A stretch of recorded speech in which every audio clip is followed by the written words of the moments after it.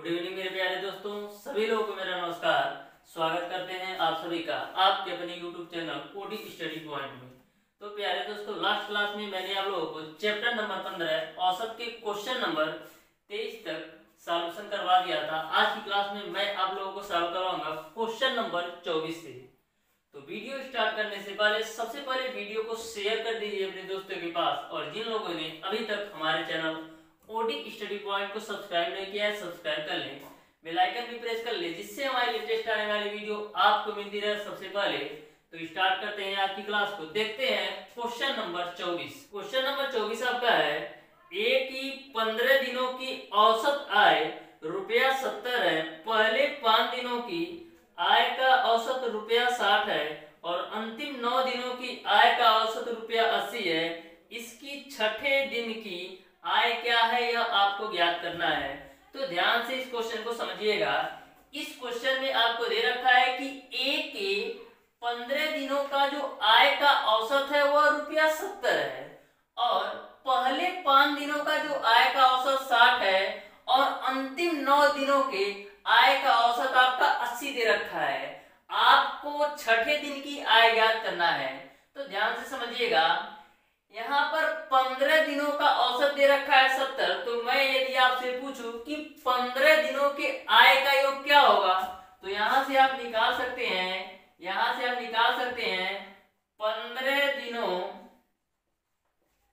के आय का योग, आय का योग। तो पंद्रह दिनों के आय का योग क्या होगा? पंद्रह दिनों के आय का योग आपका होगा औसत गुणे दिनों की संख्या तो यहाँ पर औसत आपका दे रखा है सत्तर, और दिनों की संख्या कितनी है? पंद्रह।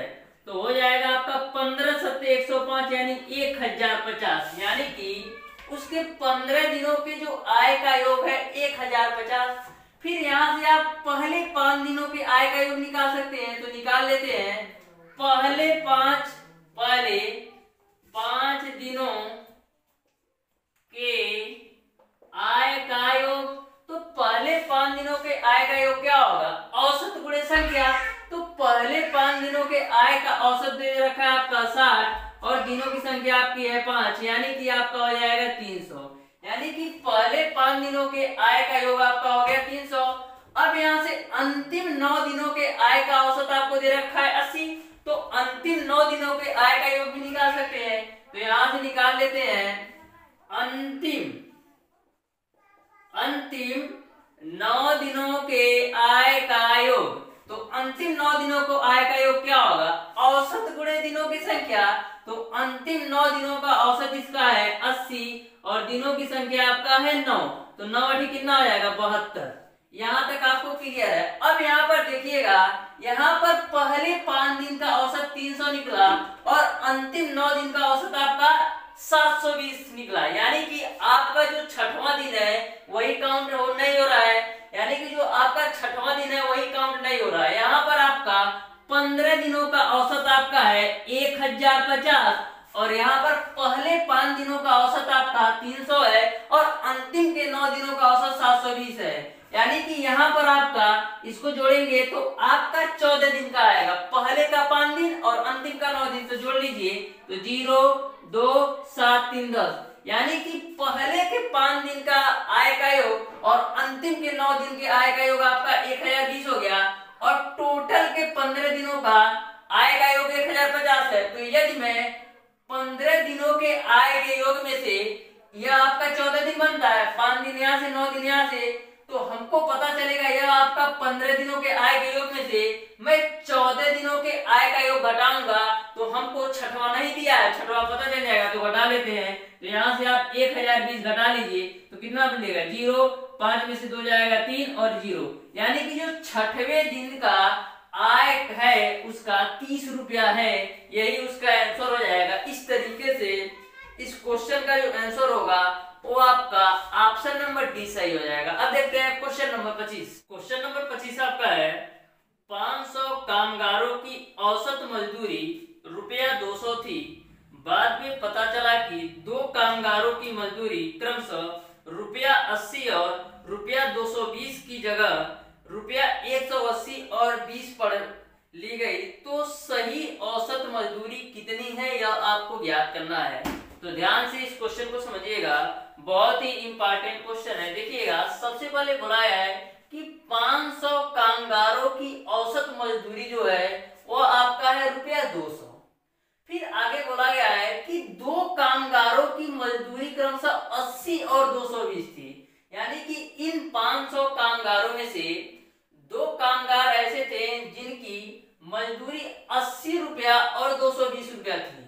लेकिन इनको मिस्टेक से, बाय मिस्टेक इसको 180 और 20 रुपया लिया गया। यानी कि इनको मिलना चाहिए 80 और दो सौ बीस रुपया, जबकि इनको दिया गया गलती से 180 और 20 रुपया। तो आपसे पूछा जा रहा है कि सही मजदूरी इनकी क्या है? तो ध्यान से समझिएगा, यदि मैं आपसे पूछूँ कि 500 कामगारों की मजदूरी का योग क्या होगा तो यहाँ से आप निकाल सकते हैं 500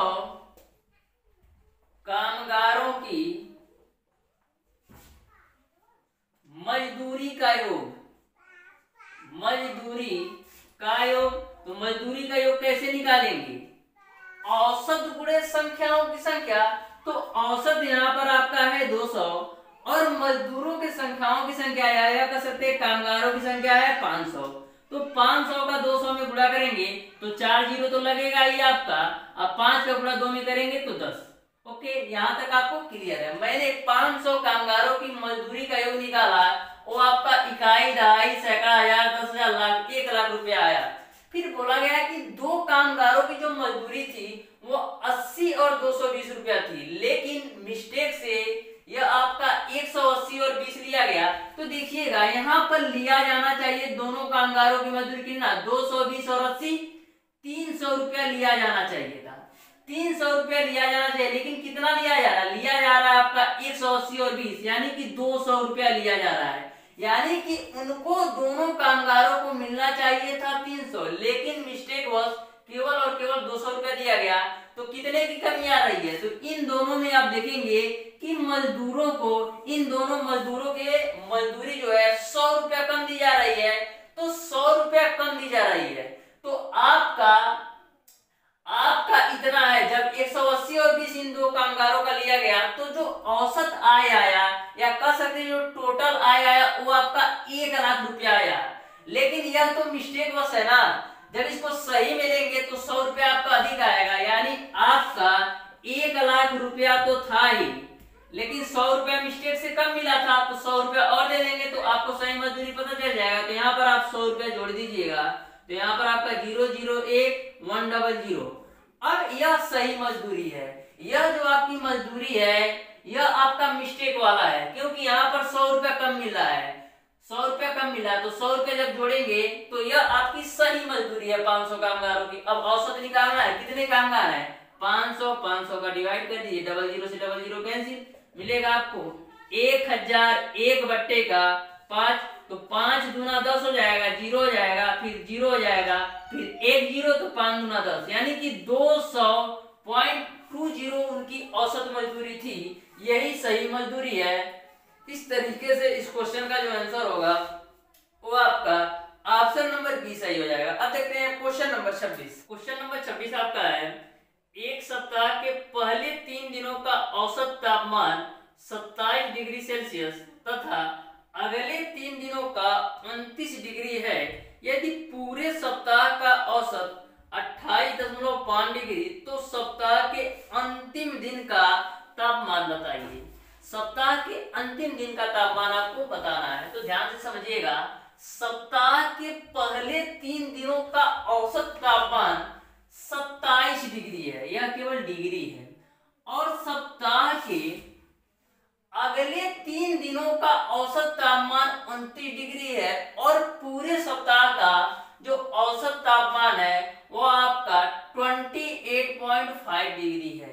यदि मैं आपसे पूछूँ कि पहले तीन दिनों के तापमान का योग क्या होगा तो पहले तीन दिनों का तापमान का योग यानी कि मंडे, ट्यूसडे और वेदनेसडे यानी मंडे, ट्यूसडे, वेडनेसडे, यानी कि सोमवार, मंगलवार और बुधवार के तापमान का मैं योग पूछू तो क्या होगा? औसत गुड़े संख्याओं की संख्या तो औसत दे रखा है सत्ताईस। और कितने दिन? तो एक, दो, तीन, यानी कि जो दिनों की संख्या होगी वो आपका है तीन तो सत्ताईस दिन या इक्यासी हो जाएगा। यानी कि पहले तीन दिनों का जो तापमान का योग होगा वो आपका 81 डिग्री होगा। फिर यहाँ पर सप्ताह के अगले तीन दिन, यानी कि सोम, मंगल बुद्ध के बाद अगले तीन दिन कौन आएँगे?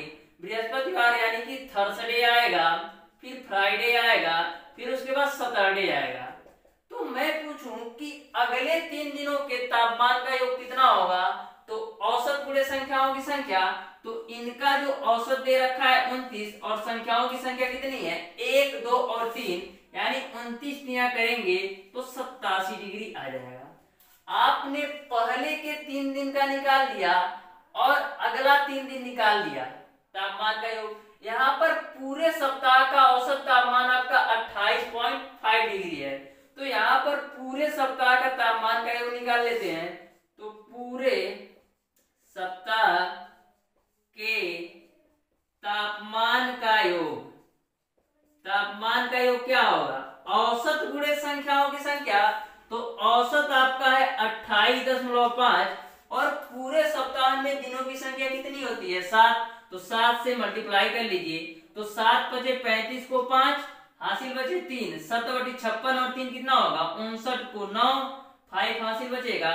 फिर सात चौ, सात गुना चौदह और पाँच, उन्नीस। यानी कि पूरे सप्ताह के तापमान का योग एक सौ निन्यानवे दशमलव पाँच है। आपसे पूछा जा रहा है क्वेश्चन में आपसे पूछा जा रहा है कि अंतिम दिन का तापमान बताइए। तो देखिएगा, पहले तीन दिन और अगले तीन दिन दिया है, यानी कि आपको मंडे ट्यूजडे वेडनेसडे फिर ये आपका थर्सडे फिर आपका फ्राइडे फिर आपका सैटरडे इसका तो तापमान दिया है तो किसका तापमान नहीं दिया है? आपको केवल और केवल संडे का तापमान नहीं दिया है। तो यहाँ पर संडे लिख लीजिए। तो देखिएगा, अब इन सातों दिन आ गए Monday Tuesday Wednesday Thursday Friday Saturday और संडे यानी सोम, मंगल, बुध बीफा शुक्र, शनिचर और अतवार इनका जो तापमान का योग है, वो आपका है एक सौ निन्यानवे दशमलव पाँच। अब आपको देखिएगा, इन तीनों का योग भी पता है, कितना है? इक्यासी है। और इन तीनों का भी योग आपको पता है, कितना है? सतासी है। केवल आपको यही नहीं पता है तो इसको ऐसे ही रखते हैं तो संडे हो जाएगा, बराबर आपका हो जाएगा एक सौ निन्यानवे दशमलव पाँच। तो यहाँ से आप संडे का निकाल लेंगे, क्या करेंगे, एक सौ निन्यानवे दशमलव पाँच में से इन दोनों को जोड़कर घटा देंगे तो माइनस कर देते हैं एट्टी वन प्लस का एट्टी सेवन। तो इसको आप सॉल्व करेंगे तो इकतीस दशमलव पाँच डिग्री आएगा। यानी कि जो अंतिम दिन संडे का तापमान है इकतीस दशमलव पाँच डिग्री है, यही आपका आंसर हो जाएगा। इस तरीके से आपका ऑप्शन नंबर डी सही हो जाएगा। अब देखते हैं क्वेश्चन नंबर सत्ताईस। क्वेश्चन नंबर सत्ताईस आपका है, सोमवार से बुधवार तक के तापमान का माध्य सैतीस डिग्री तथा मंगलवार से गुरुवार के तापमान का माध्य चौतीस डिग्री है। यदि गुरुवार का तापमान सोमवार के तापमान का चार बटे पाँच हो तो गुरुवार का तापमान कितना है यह आपको ज्ञात करना है। तो ध्यान से क्वेश्चन को समझिएगा। सबसे पहले बोला है कि सोमवार से बुधवार तक के तापमान का माध्य जो है वो आपका सैतीस डिग्री, जो आपका माध्य होता है, वही आपका औसत होता है। यानी हम माध्य को औसत भी कह सकते हैं या कह सकते हैं औसत को माध्य भी कर सकते हैं। तो बोला है सोमवार से गुरुवार तक के तापमान का मान सैतीस डिग्री। तो यदि मैं पूछूँ कि सोमवार से गुरु, सोमवार से आपका बुधवार तक के तापमान का योग कितना होगा तो क्या करेंगे? औसत गुणे दिनों की संख्या कर देंगे। तो निकालते हैं सोमवार से बुधवार तक के तापमान का योग। ए आपका हो गया मंडे, फिर ए आपका हो गया ट्यूजडे, फिर ए आपका हो गया वेडनेसडे। यानी कि सोमवार से बुधवार तक की तापमान का योग निकालते हैं। तापमान का योग कैसे निकालेंगे? औसत या यह कहिए माध्य गुणे संख्याओं की संख्या तो माध्य यहाँ पर दे रखा है सैतीस डिग्री। अगुड़े संख्याओं की संख्या कितनी है? एक, दो, तीन तो तीन से मल्टीप्लाई कर दीजिए तो तीन सत इक्कीस, तीन तीन नौ, जो ग्यारह। यानी कि सोमवार से बुधवार तक के तापमान का एक सौ ग्यारह डिग्री आ गया। फिर आगे बोला गया है कि मंगलवार से गुरुवार तक के तापमान तो मंगलवार से गुरुवार तक के तापमान का योग निकाल लीजिए तो मंगलवार यानी ट्यूजडे वेडनेसडे और थर्सडे इनका जो तापमान का माध्य दे रखा है चौतीस डिग्री अब मैं निकालता हूँ मंगलवार बुधवार और बृहस्पतिवार के तापमान का औसत तो यहाँ पर जो औसत दे रखा है चौतीस डिग्री और दिनों की संख्या कितनी है? एक, दो और तीन। तो तीन से मल्टीप्लाई कर दीजिए तो तीन चौक बारह तीन तीन का नौ और एक दस। यानी कि आपने सोमवार से बुधवार तक का तापमान का योग निकाला 111 डिग्री। और मंगलवार से गुरुवार तक के तापमान का योग निकाला आपने 102 डिग्री। फिर क्वेश्चन में आपसे बोला गया है कि गुरुवार का तापमान, यानी कि जो थर्सडे का तापमान है गुरुवार का तापमान सोमवार के तापमान का चार बट्टे पाँच, यानी मंडे के तापमान का चार बट्टे पाँच है। तो आपको ज्ञात करना है कि गुरुवार का तापमान कितना है। तो यहाँ से देखिएगा, यदि मैं थर्सडे, यानी गुरुवार और सोमवार के बीच अनुपात निकालू तो कितना आएगा? चार बटे पाँच, कुछ नहीं हुआ। जो मंडे था बट्टे में चला आया तो थर्सडे बटे मंडे बराबर चार बटे पाँच। यहाँ से आप देखिएगा मंडे ट्यूसडे वेडनेसडे का 111 है ट्यूजडे वेडनेसडे थर्सडे का आपका 102 है। तो यदि मैं इसको मान लो समीकरण नंबर एक, इसको मैं मान लो समीकरण नंबर दो तो समीकरण एक और दो को घटाते हैं। तो घटाने पर घटा देते हैं, देखिएगा क्या होगा? घटाने पर क्या होगा? ट्यूजडे से ट्यूजडे कैंसिल वेडनेसडे से वेडनेसडे कैंसिल तो यहाँ पर क्या मिलेगा? आपको मिलेगा मंडे और माइनस का थर्सडे बराबर क्या मिलेगा? 111 में से 102 घटाएँगे तो 9 यानी कि सोमवार के तापमान और गुरुवार के तापमान के बीच का जो अंतर आया वो आपका 9 डिग्री है। और यहाँ पर अनुपात में देखेंगे, यहाँ पर आप अनुपात में देखेंगे तो कितने अनुपात का अंतर है? सोमवार और गुरुवार के अनुपात में कितने का अंतर है? एक अनुपात का अंतर है। लेकिन यहाँ पर देखिएगा, जो एक अनुपात का अंतर है नौ डिग्री के बराबर, ध्यान से देखिएगा, यदि मैं बात करूँ अनुपात में तो सोमवार और गुरुवार के बीच अनुपातों का जो अंतर है, वो आपका है एक। इसको यदि आप कर लीजिए यक्ष के रूप में तो और आपको समझ में आ जाएगा, मैंने इसको यक्ष के रूप में कर लिया, ठीक? तो यहाँ से आप देखेंगे कि सोमवार और गुरुवार के जो तापमान के बीच अनुपात का अंतर है वो आपका केवल और केवल एक्स का है, या कह सकते हैं एक एक्स का है। और यहाँ पर डिग्री में देखेंगे तो उनके बीच का अंतर नौ डिग्री है।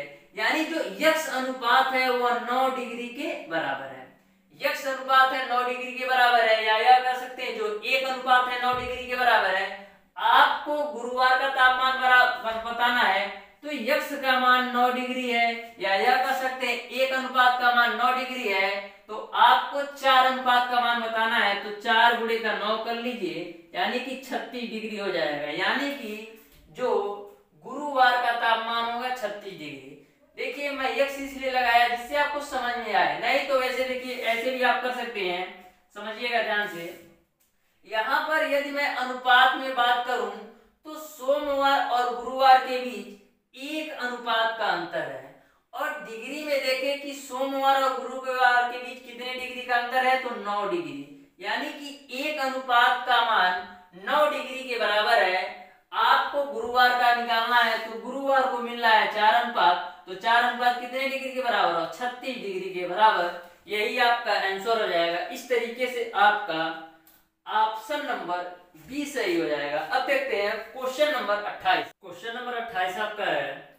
9 जनवरी से 16 जनवरी तक दोनों दिन सहित रोज का औसत तापमान अड़तीस दशमलव छह डिग्री तथा 10 से 17 जनवरी तक उनतालीस दशमलव दो डिग्री था। यदि 9 जनवरी को तापमान चौतीस दशमलव छह डिग्री था तो 17 जनवरी का तापमान क्या था?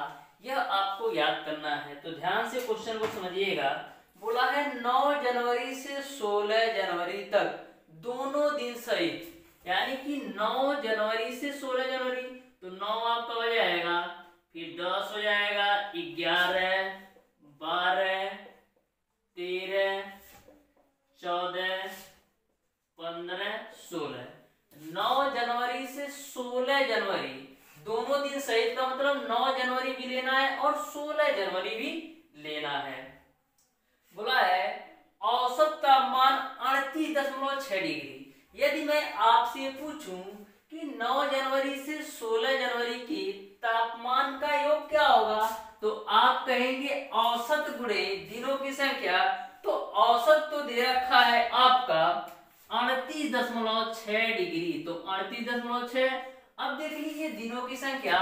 एक, दो, तीन, चार, पाँच, छह, सात, आठ। तो इसमें आठ से मल्टीप्लाई करेंगे तो आपको 9 जनवरी से 16 जनवरी के बीच के तापमान का योग पता चल जाएगा। तो मल्टीप्लाई कर लेते हैं, छह, आठ, छह, अड़तालीस को आठ, बचे चार, आठ हटाए चौसठ, आठ, अड़सठ को आठ, बचे छह, आठ तिरिक चौबीस, छह, तीस। यानी कि तीन सौ आठ दशमलव आठ आपका नौ जनवरी से सोलह जनवरी के बीच तापमान का योग आ गया।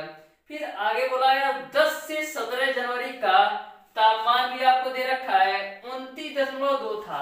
तो 10 से 17 यानी 10, 11, 12, 13, 14, 15 और 16 और 17 यदि मैं आपसे पूछूँ कि 10 जनवरी से 17 जनवरी के बीच का तापमान का योग क्या होगा तो आप कहेंगे औसत गुणे दिनों की संख्या। तो 10 से 17 जनवरी तक का तापमान का औसत दे रखा है 39.2 तो 39.2 गुणे दिनों की संख्या देख लीजिए तो एक, दो, तीन, चार, पाँच, छह, सात, आठ। तो आठ से मल्टीप्लाई करेंगे तो आठ दुना सोलह को छह, हासिल बचे एक। आठ नवा बहत्तर, एक तिहत्तर को तीन, हासिल बचे सात। आठ तीन चौबीस और सात करेंगे, कितना होगा? इकतीस। ओके? यानी कि आपका 10 से 17 जनवरी के बीच तापमान का योग तीन सौ तेरह दशमलव छह आ गया। फिर बोला गया 9 जनवरी को तापमान चौतीस दशमलव छह डिग्री है। यानी कि जो 9 जनवरी का तापमान दे रखा है, चौतीस दशमलव छह डिग्री, आपको निकालना है 17 जनवरी का तापमान। तो यदि मैं प्यारे दोस्तों, इसको मैं मान लू समीकरण एक और इसको मैं मान लू समीकरण नंबर दो। अब क्या करते हैं? समीकरण एक व दो को घटाते हैं। तो ध्यान से समझिएगा, समीकरण एक व दो को घटा लेते हैं तो एक में से दो घटाते हैं। तो minus minus minus minus minus minus minus minus. यानी कि समीकरण एक में से दो घटाते हैं। तो माइनस दस प्लस दस कैंसिल, माइनस ग्यारह, प्लस ग्यारह कैंसिल, माइनस बारह, प्लस बारह कैंसिल। तेरह तेरह कैंसिल, माइनस चौदह चौदह कैंसिल, माइनस पंद्रह पंद्रह कैंसिल, और माइनस सोलह, और सोलह कैंसिल। तो मिल क्या रहा है? यहाँ से आपको मिल रहा है नौ जनवरी का दिन, और यहाँ से आपको मिल रहा है माइनस का सत्रह जनवरी का दिन। अब इनको भी घटा दीजिए तो तीन सौ आठ, तीन सौ आठ दशमलव आठ में से आपको घटा देना है तीन सौ तेरह दशमलव छ तो देखिएगा, यह वैल्यू आएगी माइनस में। माइनस में वैल्यू ये इसलिए आएगी क्योंकि जो सभी ए आपका नीचे वाली वैल्यू ज़्यादा है तो सबको माइनस कर रहे हैं तो ए भी माइनस होगा। यानी कि माइनस का तीन सौ तेरह दशमलव छह में से आपको तीन सौ आठ दशमलव का आठ घटाना है। ध्यान से समझिएगा, मैं समीकरण एक में से दो घटा रहा हूँ, यानी कि जो समीकरण दो की सारी वैल्यू माइनस होगी तो ये भी माइनस होगा। अब यह माइनस वाली वैल्यू ज़्यादा है तो माइनस तीन सौ तेरह दशमलव छह में से तीन सौ आठ दशमलव आठ घटाइए तो सोलह में से आठ जाएगा आपका आठ बचेगा, फिर यहाँ बारह में से आठ जाएगा आपका चार बचेगा, फिर यहाँ कितना बचा यहाँ पर ज़ीरो होता है, ज़ीरो में से ज़ीरो जाएगा, ज़ीरो। यानी कि जो मैं समीकरण एक और समीकरण दो को हटाया तो हमको 9 जनवरी और 17 जनवरी के बीच के तापमान का अंतर मिल गया, माइनस का चार दशमलव आठ डिग्री। यहाँ तक आपको समझ में आ रहा होगा। मैंने क्या किया? समीकरण एक से दो को केवल घटाया है। तो हमारा यहाँ से नौ जनवरी और नीचे से माइनस का सत्रह मिला और ए वाली वैल्यू ज़्यादा थी, यानी माइनस वाली वैल्यू ज़्यादा थी तो माइनस वाले में प्लस वाले घटाया तो चार दशमलव आठ डिग्री आया, वो भी माइनस का। क्वेश्चन में आपके दिया गया है कि 9 जनवरी का तापमान चौतीस दशमलव छह डिग्री है तो 9 जनवरी का तापमान चौतीस दशमलव छह डिग्री, माइनस का इस सत्रह जनवरी है, ठीक? बराबर आपका हो जाएगा माइनस का फोर पॉइंट एट डिग्री। यहाँ से आप सत्रह जनवरी का तापमान निकालेंगे तो क्या होगा? यह माइनस का सत्रह है तो उधर ले जाएँगे प्लस हो जाएगा। तो आपका चौतीस दशमलव छह डिग्री आपका तो है ही। लेकिन यह आपका राइट साइड में माइनस में है। जब लेफ़्ट साइड में आएगा तो यह आपका हो जाएगा प्लस का 4.8 डिग्री। इसी को जोड़ दीजिए तो 8 से 14 को 4 चार चार, आठ, एक, नौ हो जाएगा और तीन हो जाएगा। एक अंक पे दशमलव, यानी कि जो आपका 17 जनवरी का तापमान था, उनतालीस दशमलव चार डिग्री था, यही आपका आंसर हो जाएगा। इस तरीके से आपका ऑप्शन नंबर डी सही हो जाएगा। प्यारे दोस्तों, मैंने इस क्वेश्चन को बिल्कुल आसान भाषा में समझाने का प्रयास किया है। फिर भी यदि आपको कहीं भी डाउट होगा तो आप उसे कमेंट बॉक्स में कमेंट करके ज़रूर बताइएगा। अब देखते हैं क्वेश्चन नंबर उन्तीस। क्वेश्चन नंबर उनतीस आपका है, किसी कक्षा में 45 छात्रों के प्राप्तांकों का औसत 40 है, उत्तीर्ण छात्रों का औसत बावन तथा अनुत्तीर्ण छात्रों का औसत 16 है। कितने छात्र अनुत्तीर्ण हैं, यह आपको ज्ञात करना है। तो सबसे पहले प्यारे दोस्तों, क्वेश्चन में आपको दे रखा है 45 छात्रों के प्राप्तांकों का औसत है 40 और उत्तीर्ण छात्रों का जो औसत है वो आपका है बावन। अनुत्तीर्ण छात्रों का जो औसत है वो आपका है सोलह। तो आपसे पूछा जा रहा है कि कितने छात्र अनुत्तीर्ण हैं? कितने छात्र अनुत्तीर्ण हैं? तो सबसे पहले मैं मान लेता हूँ, माना कि यक्ष छात्र अनुत्तीर्ण है। यक्ष छात्र अनुत्तीर्ण है। मैंने मान लिया कि यक्ष छात्र अनुत्तीर्ण है। अब टोटल के 45 छात्र हैं, जिसमें से यक्ष छात्र अनुत्तीर्ण है। तो हम पूछे कि उत्तीर्ण छात्र कितने होंगे? तो 45 में से आप यक्ष घटाएँगे तो आपको पता चलेगा उत्तीर्ण छात्र। तो उत्तीर्ण छात्रों की संख्या, छात्रों की संख्या क्या हो जाएगी? पैतालीस माइनस का यक्ष। मैंने मान लिया कि अनुत्तीर्ण छात्र यक्ष हैं तो उत्तीर्ण कितने होंगे? पैतालीस में से आप यक्ष घटाएँगे, तभी पता चलेगा। अब ध्यान से समझिएगा, यदि मैं आपसे पूछूँ कि टोटल के 45 छात्रों के प्राप्तांकों का औसत तो 40 दिया है। यदि मैं पूछूँ कि 45 छात्रों के प्राप्तांकों का योग कितना होगा तो यहाँ से आप निकाल सकते हैं 45 छात्रों के प्राप्तांकों का योग। प्राप्तांकों का योग। तो प्राप्तांकों का योग कैसे निकालेंगे? औसत गुणे छात्रों की संख्या। तो यहाँ से देखिएगा, औसत दे रखा है आपका 40 और छात्रों की संख्या आपका है 45 एक ज़ीरो लगेगा। चार पच्चे बीस को ज़ीरो, चार चौक सोलह दो अठारह यानी कि 45 छात्रों के प्राप्तांकों का योग आपका आ गया अठारह सौ। और यदि मैं पूछूँ कि उत्तीर्ण छात्रों का औसत तो यहाँ से आप निकाल सकते हैं, उत्तीर्ण छात्रों के प्राप्तांकों का योग। उत्तीर्ण छात्रों के प्राप्तांकों का योग। तो उत्तीर्ण छात्रों के प्राप्तांकों का योग कैसे निकालेंगे? औसत गुणे उत्तीर्ण छात्रों की संख्या। तो उत्तीर्ण छात्रों का औसत आपको दे रखा है बावन, और उत्तीर्ण छात्रों की संख्या कितनी है? उत्तीर्ण छात्रों की संख्या आपका है पैतालीस माइनस का एक्स और प्यारे दोस्तों, जैसे हमने उत्तीर्ण छात्रों के प्राप्तांकों का योग निकाला, उसी तरह आप अनुत्तीर्ण छात्रों के प्राप्तांकों का योग निकाल लीजिए। तो यहाँ से लिखेंगे, अनुत्तीर्ण छात्रों के प्राप्तांकों का योग। तो अनुत्तीर्ण छात्रों के प्राप्तांकों का योग क्या होगा? औसत गुणे अनुत्तीर्ण छात्रों की संख्या तो अनुत्तीर्ण का औसत आपका है सोलह है, और अनुत्तीर्ण छात्रों की संख्या आपका कितना है? अनुत्तीर्ण छात्रों की संख्या आपने माना है यक्ष तो गुणे का यक्ष हो जाएगा। यहाँ तक पूरी बात क्लियर है। यानी कि उत्तीर्ण छात्रों के प्राप्तांकों का योग आपका बावन, ब्रेकेट में पैंतालीस माइनस एक्स है, और अनुत्तीर्ण का आपका सोलह गुणे का एक्स है। यानी कि जो उत्तीर्ण छात्रों के प्राप्तांकों का योग है, और अनुत्तीर्ण प्राप्त छात्रों के प्राप्तांकों का योग है उसका योग 1800 के बराबर होना चाहिए, क्योंकि टोटल बच्चों के प्राप्तांकों का योग 1800 है तो उसी में से अनुत्तीर्ण उत्तीर्ण होंगे तो यानी कि अनुत्तीर्ण छात्रों के प्राप्तांकों के योग और उत्तीर्ण छात्रों के प्राप्तांकों का योग मैं आपस में जोड़ दूँ तो 1800 के बराबर होना चाहिए तो जोड़ लेते हैं। तो यहाँ पर उत्तीर्ण जो है, वो आपका है बावन और पैतालीस माइनस का एक्स प्लस का और उत्तीर्ण आपका है सोलह एक्स इन दोनों का योग अठारह सौ के बराबर होना चाहिए। गुणा कर लीजिए तो पैतालीस का बावन में गुणा करिए तो गुणा कर लेते हैं पैतालीस का बावन में। पैतालीस का बावन में तो दो पच्चे दस, दो चौकाठे नौ, क्रॉस होगा। पाँच पच्चे पच्चीस, पाँच चौक बीस, दो बाईस। तो यहाँ पर ज़ीरो, नौ, पाँच, चौदह के चार, तीन और यहाँ पर एक। तो तेईस सौ चालीस आपका आ जाएगा तो तेईस सौ चालीस माइनस का एक बार और कर लीजिए पैंतालीस गुना नब्बे, पाँच पच्चे पच्चीस, पाँच चौबीस, दो बाईस। तो यहाँ पर ज़ीरो हो जाएगा, नौ पाँच चौदह को चार हो जाएगा, दो एक तीन हो जाएगा, यानी तेईस सौ चालीस आपका आ जाएगा।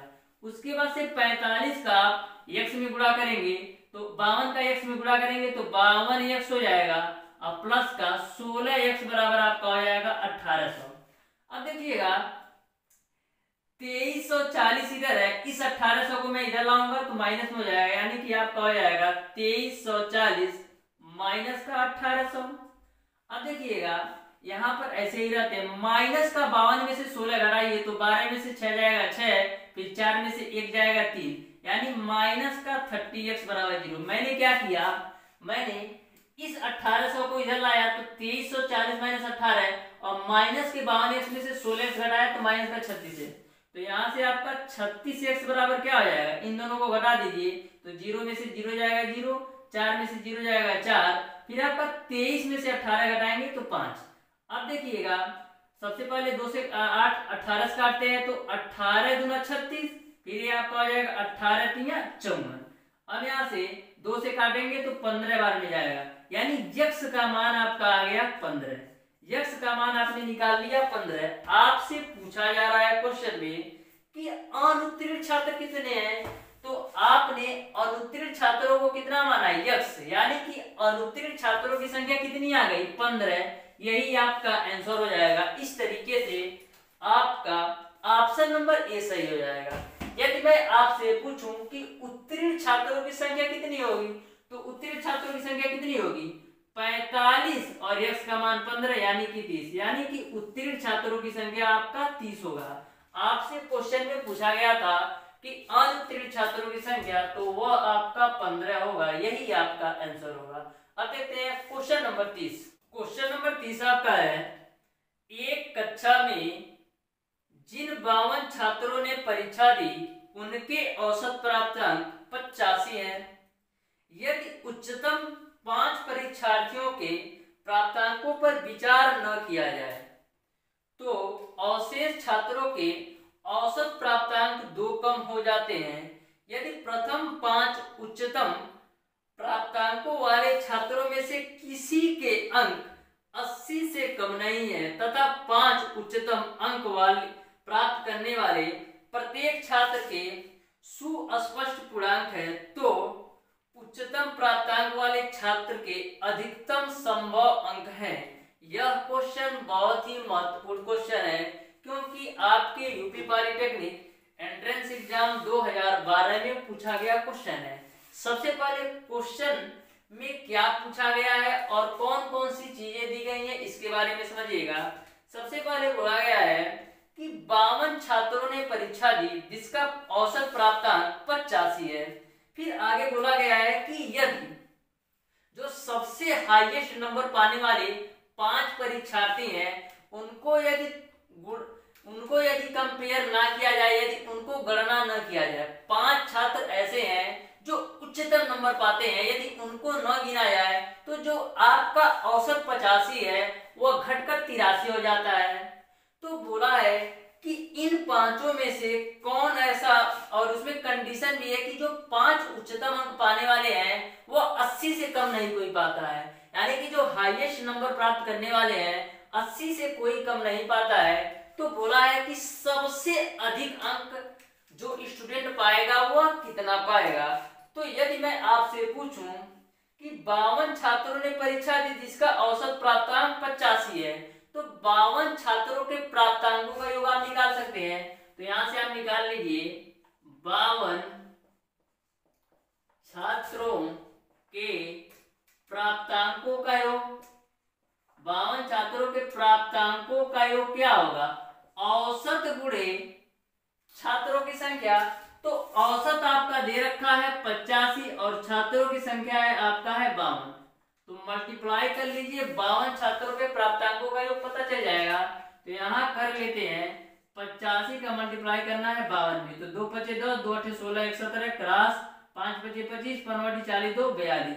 तो यहाँ से आपका ज़ीरो, सात पाँच बारह को दो दो एक तीन एक चार और चार। यानी कि बावन छात्रों के प्राप्तांकों का योग आपका आ गया चौवालीस सौ बीस रुपया। चौवालीस सौ बीस फिर बोला है कि यदि उच्चतम पाँच परीक्षार्थियों ने प्राप्तांकों पर विचार न किया जाए, यानी कि इन बावन छात्रों में से जो अधिकतम अंक पाते हैं, पाँच छात्र, उनको गणना न किया जाए तो बावन में से पाँच की गणना नहीं करेंगे तो बचेंगे आपके पास सैतालीस। बचेंगे आपके सैतालीस, गणना न किया जाए तो अवशेष छात्र तो कितने छात्र बचेंगे? यदि बावन छात्र हैं, जो अधिक अंक पाँच छात्र पाते उनको गणना न किया जाए तो सैतालीस छात्र बचेंगे। इनका जो औसत है, इन सैतालीस छात्रों का वह पहले औसत से यानी पचासी से दो कम हो जाता है, यानी कि तिरासी हो जाता है। तो यदि मैं पूछूँ कि सैतालीस छात्रों के प्राप्तांकों का योग कितना होगा तो आप करेंगे सैतालीस गुणे का तिरासी। तो तीन सत्य इक्कीस, तीन चौक बारह और दो चौदह, आठ सत्य छप्पन बचे पाँच, आठ तो बत्तीस और पाँच सैतीस। तो यहाँ से आपका एक छह, चार, दस को ज़ीरो, सात, एक, आठ और एक, नौ और तीन। यानी कि सैतालीस छात्रों के प्राप्तांकों का योग आपने निकाल लिया, उनतालीस सौ एक।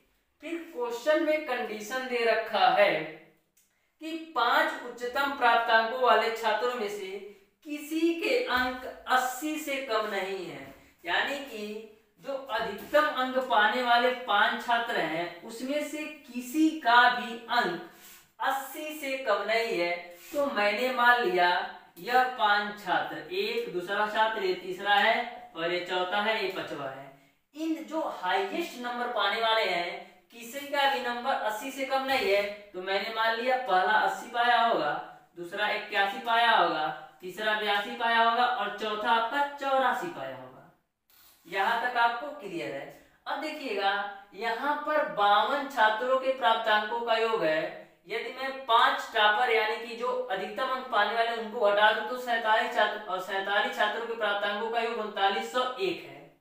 तो यदि मैं आपसे पूछूँ कि जो हाईएस्ट नंबर पाते हैं, जो उच्चतम नंबर पाते हैं, उनका प्राप्तांकों का योग कितना होगा? तो चौवालीस सौ बीस में से आप उनतालीस सौ एक घटाएँगे तो कितना होगा? दस में से एक जाएगा नौ, फिर एक में से ज़ीरो जाएगा एक, फिर चौवालीस में से आप उनतालीस घटाएँगे पाँच सौ नौ।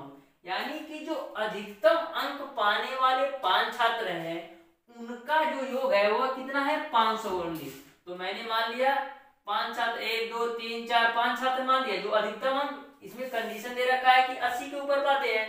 तो मैंने मान लिया कि पहला अस्सी पाया होगा, दूसरा इक्यासी, तीसरा बयासी, चौथा चौरासी और पचवा को मैं मान लेता हूँ यश और इनका जो योग है 519 के बराबर होना चाहिए। अब यही यक्स का मान निकाल लेंगे तो आपको पता चल जाएगा कि जो स्टूडेंट सबसे अधिक नंबर पाता है वह कितना नंबर पाता है।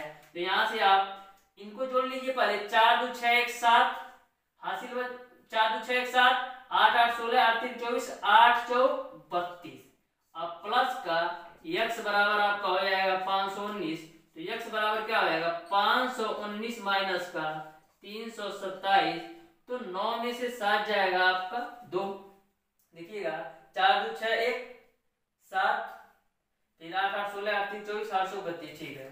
तो यहाँ पे पर से आप ग्यारह में से दो घटाएँगे तो नौ मिलेगा और यहाँ में से चार में से तीन घटाएँगे एक। यानी कि जो हाईएस्ट नंबर पाने वाला स्टूडेंट है, उसको एक सौ बानवे नंबर मिल सकता है। इस तरीके से इस क्वेश्चन का जो आंसर होगा वो आपका ऑप्शन नंबर डी सही होगा। यहाँ पर कहीं पर एक अंक का मिस्टेक है, उसको आप रिजॉल्व कीजिएगा। यहाँ पर देखिएगा, एक अंक कहाँ मिस्टेक है? इक्यासी बयासी, इसको तिरासी लेना पड़ेगा। पहला एक अस्सी पाया, दूसरा इक्यासी, तीसरा बयासी, ये तिरासी पाएगा। तो यहाँ पर आप जोड़ेंगे तो तीन, दो, पाँच, एक छ ही आएगा। तो यहाँ से आप घटा लीजिएगा। पाँच सौ उन्नीस में से तीन सौ छब्बीस आप घटाएँगे। तो आपको एक सौ तिरानवे नंबर मिलेगा। यानी कि हाईएस्ट नंबर पाने वाला जो स्टूडेंट है, उसको एक सौ तिरानवे नंबर मिलेगा। इस तरीके से आपका ऑप्शन नंबर डी सही हो जाएगा। अब देखते हैं क्वेश्चन नंबर इकतीस। क्वेश्चन नंबर इकतीस आपका है। पाँच क्रमिक विषम संख्याओं का औसत पंद्रह है। तो पहली और अंतिम संख्या के योगफल का पाँच गुना भाग होगा, यह आपको ज्ञात करना है। तो सबसे पहले आपको ये समझना है कि पाँच क्रमिक विषम संख्याएँ क्या होती हैं। तो देखिएगा, कभी भी विषम संख्या आपको मानना होता है तो आप ऐसे मानिए, टू यक्स धन वन फिर दूसरा विषम संख्या क्या होगा? टू यक्स प्लस का थ्री। तीसरा विषम संख्या क्या होगा? टू एक्स प्लस का फाइव। और चौथा क्या होगा? टू एक्स प्लस का सेवन। और पांचवा क्या होगा? टू एक्स प्लस का नाइन अब बात ये आती है, ऐसा ही क्यों मानते हैं? तो देखिएगा, यहाँ पर यक्स का मान कुछ भी रख ले, चाहे एक रख लीजिए, चाहे दो रख लीजिए, चाहे तीन रख लीजिए, चाहे पाँच, हमेशा इसका मान विषम नहीं आएगा। जैसे यदि यक्स का मान मैं एक रखूँ तो दो गुड़े एक प्लस का एक यानी तीन आएगा। यहीं पर यदि एक्स का मान मैं पाँच रख दूँ तो दो गुड़े पाँच धन एक यानी कि ग्यारह आएगा। यानी कि आपको इस तरीके से मानना है कि यह विषम संख्या ही आए। तो इसी वजह से ऐसा माना जाता है विषम संख्या। ओके, यह बात आपको क्लियर समझ में आ गई होगी। तो बोला है कि पाँच क्रमिक विषम संख्याओं का औसत पंद्रह है। तो मैं आपसे पूछूँ कि पाँच क्रमिक विषम संख्याओं का योग क्या होगा? तो आप कैसे निकालेंगे? औसत गुणे संख्याओं की संख्या। तो पाँच क्रमिक विषम संख्याओं का योग निकालते हैं। तो पहला मैंने जैसा कि बताया, टू एक्स प्लस वन होता है। योग निकालना है ना तो प्लस का। दूसरा आपका हो जाएगा टू एक्स प्लस का थ्री। तीसरा आपका हो जाएगा टू एक्स प्लस का फाइव। और चौथा आपका हो जाएगा टू एक्स प्लस का सेवन। एक, दो, तीन, चार। और पांचवा आपका क्या हो जाएगा? टू एक्स प्लस का नाइन। इनका योग निकालना है। तो औसत गुणे संख्याओं की संख्या तो औसत आपका पंद्रह है और संख्याओं की संख्या आपका है पाँच, यानी कि पचहत्तर हो जाएगा। यानी कि पाँच क्रमिक विषम संख्याओं का योग आपका है पचहत्तर। ये आपका है पहला ये आपका है दूसरा ये आपका है तीसरा ये आपका है चौथा और ये आपका है पांचवा। ओके? फिर बोला है यहाँ से पहले एक्स का मान निकालते हैं। तो देखिए दो दुना चार, दो छह, दो आठ, दो दस एक्स तो यहाँ पर आपका हो जाएगा दस एक्स प्लस का। एक में तीन जोड़ेंगे तो चार चार पाँच नौ और नौ सात सोलह। और सोलह में नौ जोड़ेंगे तो पच्चीस हो जाएगा। बराबर आपका हो जाएगा पचहत्तर। तो यहाँ से दस एक्स का मान आपका बराबर पचास होगा। ज़ीरो से ज़ीरो कैंसिल, यानी यक्स का मान आपको मिलेगा पाँच। यक्स की वैल्यू आपको मिल गया पाँच।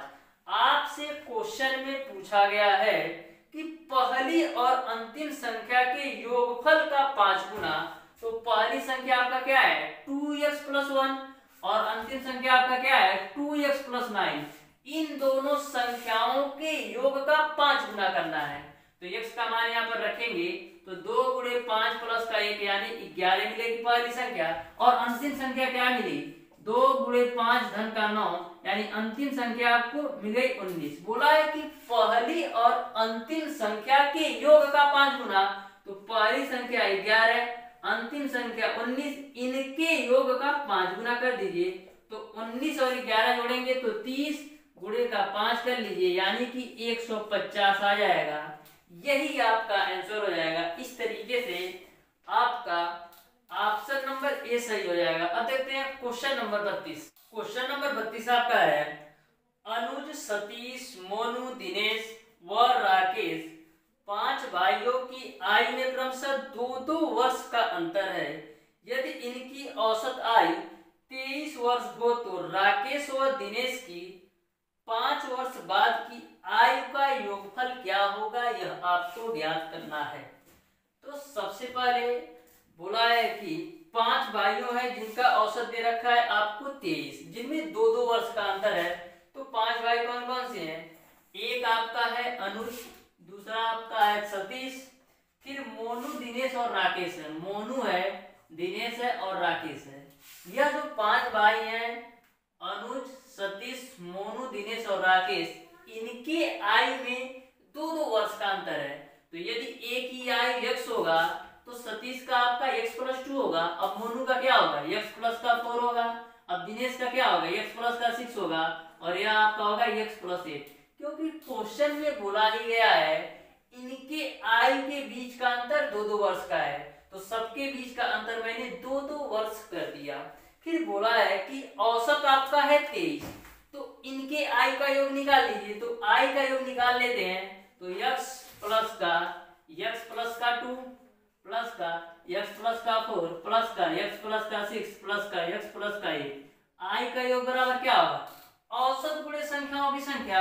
औसत आपको दे रखा है तेईस और संख्याओं की संख्या आपका पाँच तो पाँच तीन पंद्रह को पाँच पाँच दो दस की ग्यारह। यानी कि इन पाँचों भाइयों के आई का योग आपका आ गया एक सौ पंद्रह। अब इनको भी जोड़ लीजिए तो एक, दो, तीन, चार, पाँच।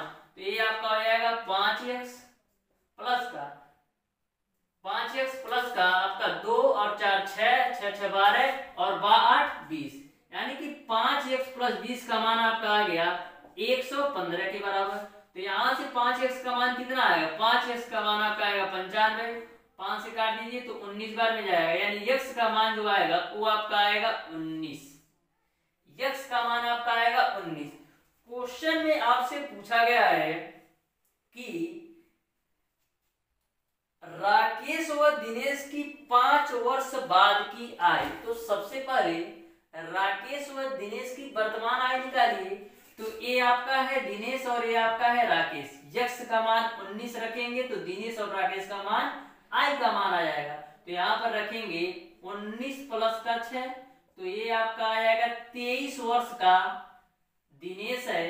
और यहाँ पर आप यक्स का मान 19 रखेंगे तो 19 और कितना हो जाएगा? 27 यानी कि 27 वर्ष का 19 एक बीस पाँच पच्चीस होगा, ये देखिएगा। 19 और पाँच कितना होगा? 19 और छह पच्चीस। यानी कि दिनेश 25 वर्ष का है, और जो आपका राकेश है 27 वर्ष। दिनेश कितने का है? 25 वर्ष का, और राकेश आपका है 27 वर्ष है। लेकिन आपको यह नहीं बताना है। आपको बताना है कि दिनेश और राकेश का पाँच वर्ष बाद की आय का योग तो पाँच वर्ष बाद, यानी कि दोनों में पाँच पाँच साल जोड़ देते हैं तो पाँच साल इसमें जोड़ दीजिए, पाँच साल इसमें जोड़ दीजिए तो ए आपका हो जाएगा तीस साल का और ए आपका है बत्तीस साल का। बोला है कि दिनेश व राकेश का पाँच साल बाद आयु का योग तो इन दोनों का योग कर दीजिए तो कितना होगा? बासठ वर्ष। यानी कि दिनेश व राकेश का पाँच वर्ष बाद आयु का योग बासठ वर्ष होगा। अब देख सकते हैं कि इन दोनों के आयु के बीच का अंतर भी दो वर्ष है। ओके तो क्लियर आपको समझ में आ गया होगा इस क्वेश्चन का सॉल्यूशन। अब देख, इस तरीके से आपका ऑप्शन नंबर बी सही हो जाएगा। अब देखते हैं क्वेश्चन नंबर तैतीस। क्वेश्चन नंबर तैतीस, जो इस चैप्टर का लास्ट क्वेश्चन है, ध्यान से समझिएगा, बहुत ही इंपॉर्टेंट क्वेश्चन है, क्योंकि यह क्वेश्चन आपके यूपी पॉलिटेक्निक एंट्रेंस एग्ज़ाम 2012 में पूछा गया क्वेश्चन है। तो ध्यान से समझिएगा, एक आदमी की वर्तमान आयु का, उसकी पत्नी की आयु के प्रति अनुपात पाँच अनुपात चार है। जब आदमी 35 वर्ष का था तो उसकी पत्नी की आयु, उन दोनों की आयु के औसत मान से पाँच वर्ष कम थी। आदमी की वर्तमान आयु क्या है? यह आपको बताना है। तो ध्यान से क्वेश्चन को समझिएगा। बोला है कि एक आदमी की वर्तमान आयु का, उसकी पत्नी के आयु के प्रति अनुपात पाँच, अनुपात चार है। यानी कि जो आपका आदमी है और जो पत्नी है, इनके बीच का अनुपात जो दे रखा है, पाँच, अनुपात चार। तो मैं मान लेता हूँ कि आदमी और पत्नी के बीच जो आय का अनुपात है, वो आपका पाँच एक्स अनुपात चार एक्स के रूप में है।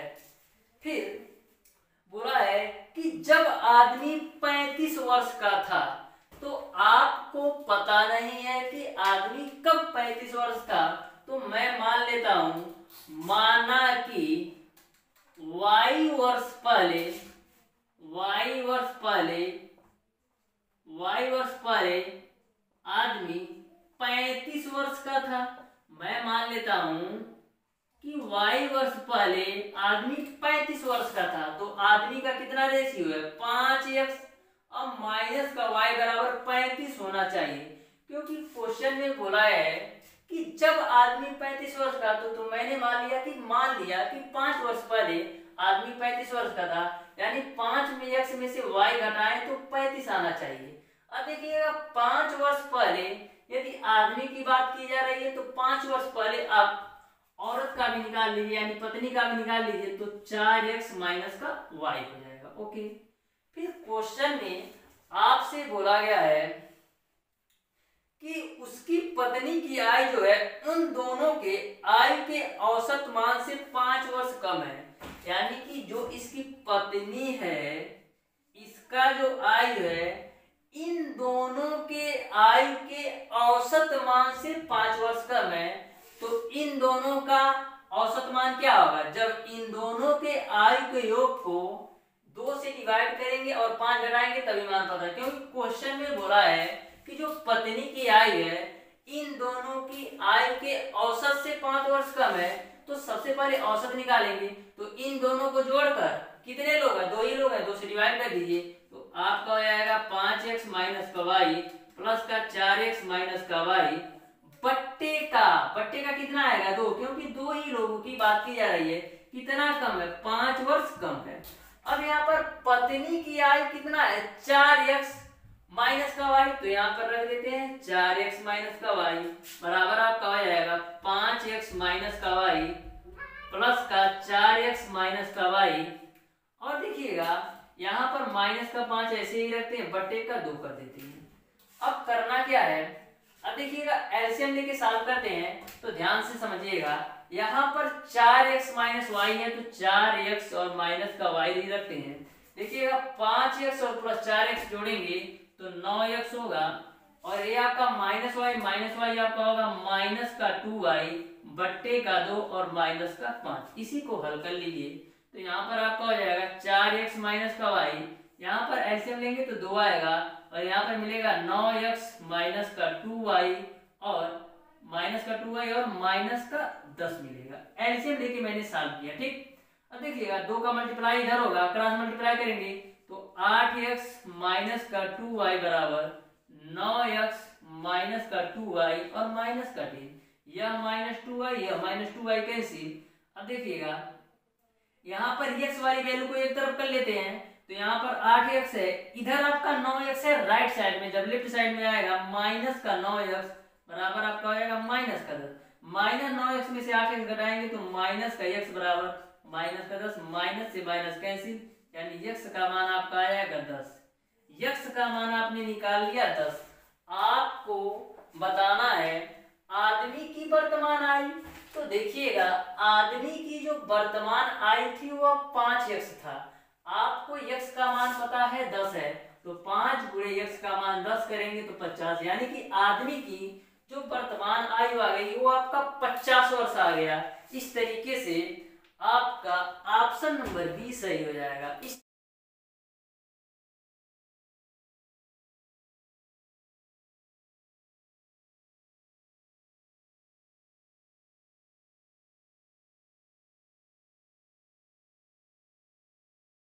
इस तरीके से प्यारे दोस्तों, आज की क्लास में मैंने आपको औसत के क्वेश्चन नंबर 24 से लेकर के क्वेश्चन नंबर 33 तक के सारे प्रश्नों का सॉल्यूशन करवा दिया है। यदि आपको किसी भी क्वेश्चन में कोई भी डाउट कोई भी कंफ्यूजन होगा तो आप उसे कमेंट बॉक्स में कमेंट करके ज़रूर बताइएगा। प्यारे दोस्तों, मैं आपके प्रत्येक क्वेश्चन को बिल्कुल डिटेल में, आसान भाषा में समझाता हूँ। फिर भी यदि आपको किसी भी क्वेश्चन में कोई भी डाउट होगा तो आप उसे कमेंट बॉक्स में कमेंट कीजिएगा। मैं उसको डाउट सेशन की क्लास में सॉल्व करवा दूँगा। एक बात और, प्यारे दोस्तों, आपको हमारी वीडियो क्वालिटी कैसी लगती है? लाइटिंग की सुविधा और बढ़ानी चाहिए या अदर कोई प्रॉब्लम यानी कि वीडियो क्वालिटी से रिलेटेड आपको कौन सी प्रॉब्लम है? आप उसको कमेंट बॉक्स में कमेंट करके ज़रूर बताइएगा, क्योंकि देखते हैं कि मैक्सिमम स्टूडेंट एक से दो क्वेश्चन छोड़े, देखेंगे उसके बाद छोड़ देंगे। प्यारे दोस्तों, मैं आपको पूरे क्वेश्चन का सॉल्यूशन करवाता हूँ। तो आप व्यवसाय तैयारी के लिए सारे क्वेश्चन का सॉल्यूशन ज़रूर देखा करें, जिससे आपको एक बेहतर तैयारी हो सके और आप top ten government polytechnic college या यह कह सकते हैं टॉप हंड्रेड रैंक में से आपका इनाम हो। तो आज की क्लास को यहीं तक रखते हैं। यदि वीडियो पसंद आया हो तो ज़्यादा से ज़्यादा लाइक करें, अपने दोस्तों में शेयर करें, और जिन लोगों ने अभी तक हमारे चैनल ओडी स्टडी पॉइंट को सब्सक्राइब नहीं किया सब्सक्राइब कर लें। बेल आइकन दबाना बिल्कुल मत भूलें, जिससे हमारी लेटेस्ट आने वाली वीडियो आपको मिलती रहे। सबसे पहले धन्यवाद।